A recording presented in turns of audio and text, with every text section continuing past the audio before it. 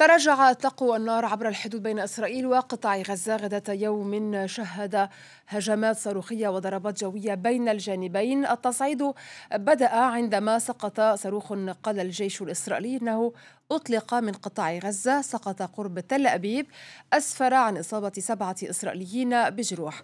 إسرائيل اتهمت حماس بشأن الهجوم الصاروخي ووجهت سلسلة ضربات ضد القطاع أسفرت عن إصابة خمسة فلسطينيين. يأتي التصعيد الأخير قبل أسبوعين فقط من الانتخابات الإسرائيلية. رئيس الوزراء بنيامين نتنياهو يواجه تحديا قويا من تحالف وسطي. نتنياهو الذي تلاحقه فضائح فساد يسعى إلى الحفاظ على مستقبله السياسي بعد عشرة أعوام في السلطة.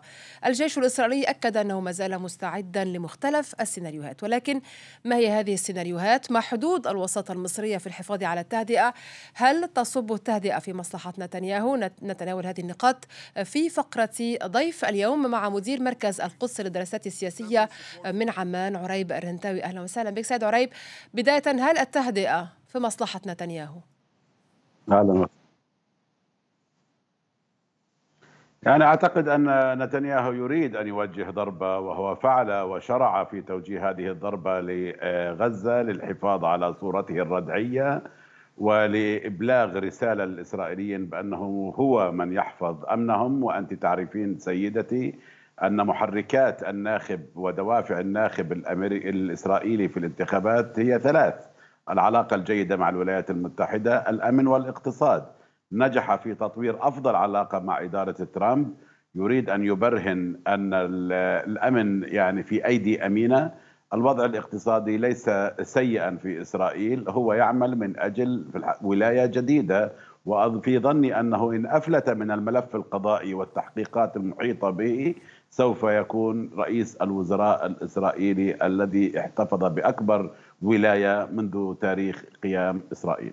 ما الوساطه الوساطه المصرية أدت حتى الآن إلى نوع من التهدئة هدوء حذر كما تشير المصادر ولكن هل من ضمانات لعدم العودة إلى التصعيد؟ لا ضمانات. الأطراف لا تريد أن تنزلق إلى حرب شاملة إلى مواجهة شاملة. إسرائيل لا تريد مواجهة شاملة ولا حرب اجتياح لقطاع غزة. أهل غزة ليسوا في وضع مناسب لدخول حرب جديدة. حماس لا تريد حرب جديدة كذلك. لهذا أعتقد أننا أمام تصعيد مضبوط وهذا يعطي دائما الوساطة المصرية فرصا للنجاح. ولكن أنت تعلمين أن الوضع حساس جدا في قطاع غزة ويمكن لخطأ هنا أو لتصرف أحمق هناك أن يفضي إلى إشعال حريق كبير في هذه المنطقة.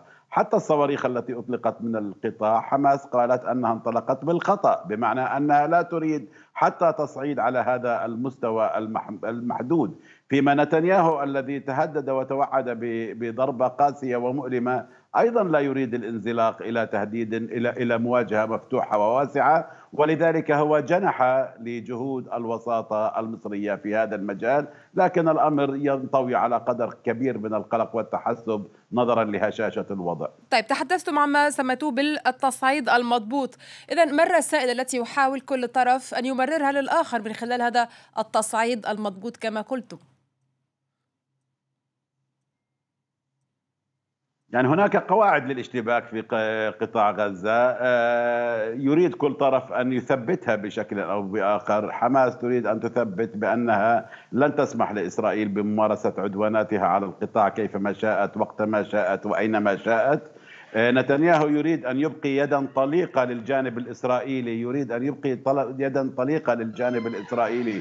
في قطاع غزة للجيش لسلاح الجو على وجه الخصوص ولكن دون ما الانزلاق كما كنا إلى مواجهة شاملة بانتظار أن تنضج شروط اتفاق تهدئة بعيدة الأمد بين الجانبين.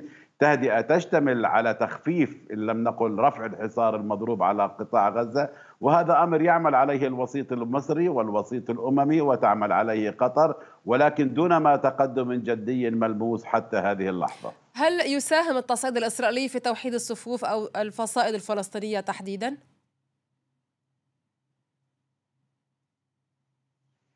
يعني اعتدنا في الحقيقة أنه في لحظات الاشتباك في لحظات المواجهة بين الفلسطينيين أي فريق من الفلسطينيين والإسرائيليين أن يضع الفلسطينيون جانبا خلافاتهم الداخلية وهذا ما رأيناه في الحقيقة في الآونة أو في الأيام القليلة الفائتة والساعات الماضية. ولكن جذور هذا الخلاف عميقة جذور هذا الخلاف مشتعلة جدوة ما زالت متقدة.